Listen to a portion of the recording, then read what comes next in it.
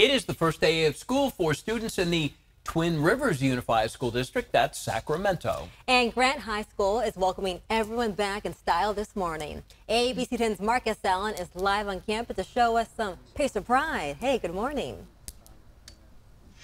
Hey, good morning. Don't get me wrong. I love all schools equally, but I will tell you there is something about Pacer Pride that is big. It is loud. It is proud. It starts with an award winning football team respected as one of the best in the nation, and then the drumline also respected.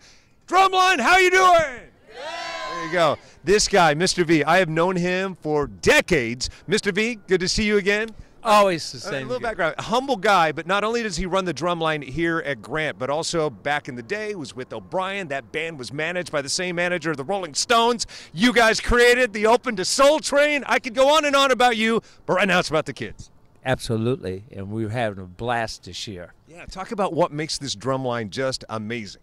Well, what makes this amazing, basically, we travel around the world. We've been to London, we've been to France, we've been to Africa, we've been to Japan. We were just in New York in Times Square at Central Park.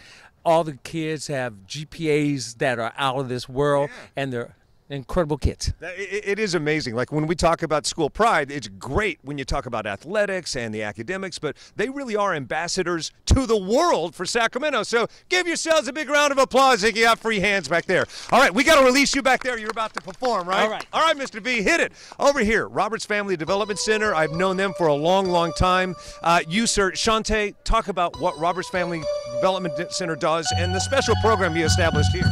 So, Roberts Family Development Center is pretty much an organization that offers resources to the whole community uh, here in Del Paso Heights.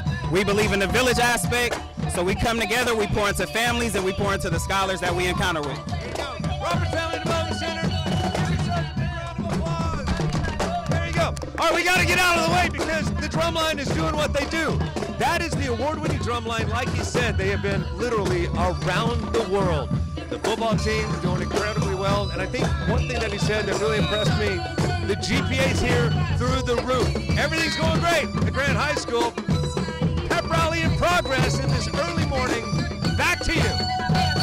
The best part about high school football is the band. They really are the soundtrack to the game. I'll give you for sure at Grant. Mm-hmm. For sure at Grant. You know that Grant High plays like an historically HBCU. Yeah, I can hear and, it. And when you're on the football team, you're a pacer for life. It's a big thing. They got a big game coming up Friday at home against uh, Edison of Stockton. Be a lot of people there for that. It's going to be a good football game. So uh, there you go, Mark S. Allen. Thank you, and good luck to Grant High School. They should be another top team in the region.